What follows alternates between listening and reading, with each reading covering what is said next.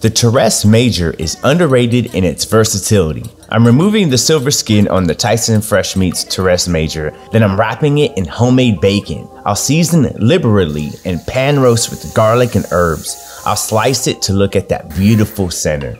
I'm serving it with a pea puree, fresh pea, fava, and king trumpet mushrooms.